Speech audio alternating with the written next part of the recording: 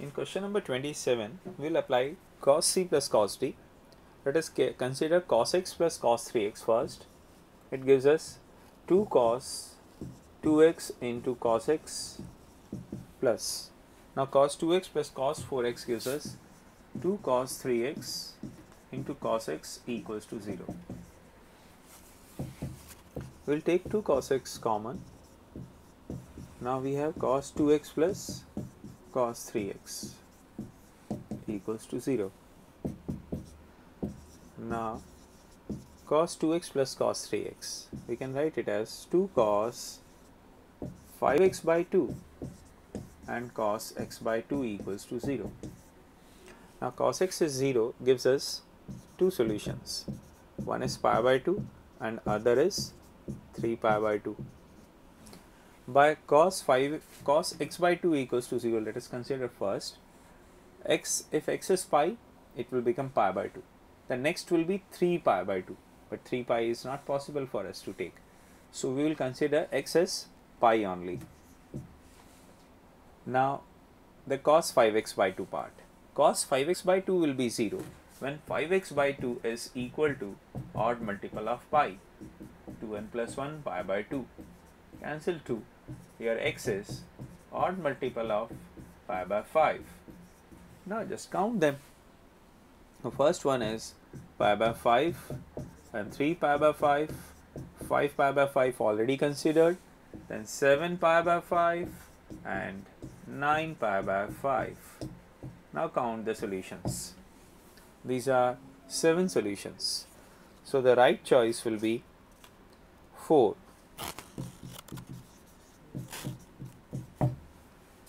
Question number 28, the expression will be 1 under 3 situation. If power is 0,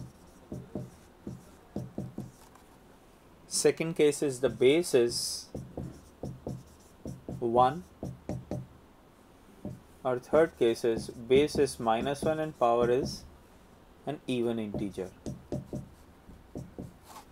In the first case, we have x as minus 10 and 6 as the product is minus 6 minus 60 and the sum is minus 4 and for these values of x the base is positive 2 so a positive number raised to the power 0 will give us 1 therefore both are acceptable. When it is equals to 1 this gives us x equals to 1 and 4 now whatever be the power, it will satisfy the equation. In the case of minus 1, the x are 2 and 3. But when we substitute 3 in the equation, we can see base is minus 1, but the power is an odd number, negative odd integer. So it is not going to satisfy the equation. We will reject this one and add all these values of x. So the sum comes to be 3. So the right option is 2. In question number 29, let us sketch the regions first. I will sketch the circle because x square plus y square less than equals to 4x basically represent x minus 2 whole square plus y square less than equals to 4. So the portion inside the circle whose center is 2 comma 0 and radius is 2. This is a diameter 2 comma 0 and that parabola y square equals to 2x is passing through these two extremities 2 comma 2 and this is 2 comma minus 2. So this is the parabola. We have to find out the region inside the circle but outside the parabola in first quadrant only.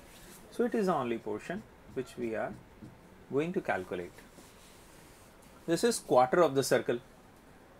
So this area we know. What we have to calculate is this dotted area. To calculate the dotted area, I will integrate this expression root 2 x from 0 to 2 and I will subtract this area from quarter of the circle pi r square by 4. Now just calculate it. It is pi root 2. This is 2 by 3 times x power 3 by 2. x power 3 by 2 gives us 2 root 2 0 is finish. Now this is pi minus 8 by 3 and pi minus 8 by 3 is the third option. So the answer is 3. Question number 30. First of all, we will calculate the function fx plus 2f1 upon x is equal to 3x. If we replace x by 1 upon x, the new equation will be f1 upon x plus 2fx is equal to 3 by x. This is first equation, this is second. Now using second in first, I will obtain fx. f1 upon x I am replacing in the equation 1. fx plus 2, 3 by x minus 2fx is equal to 3x. fx minus 4fx is 3fx. I considered it on right hand side. Now it is equals to 6 by x minus 3x.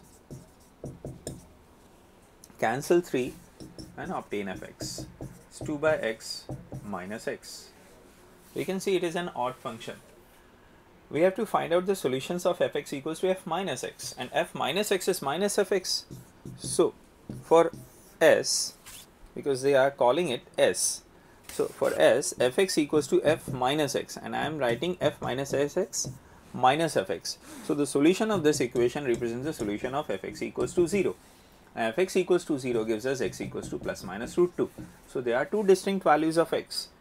So, the right option is 4.